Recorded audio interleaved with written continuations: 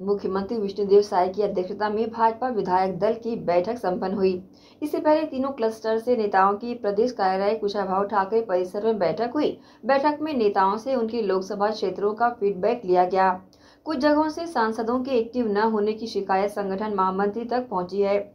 नेताओं ने खुलकर किसी का नाम नहीं लिया। इसे लेकर बड़े नेताओं ने कार्यकर्ताओं और नेताओं से साफ़ कहा है कि आप मोदी जी को तीसरी बार पीएम बनाने के लिए जुट जाइए। जो एक्टिव नहीं होंगे, साइड कर दिए जाएँगे।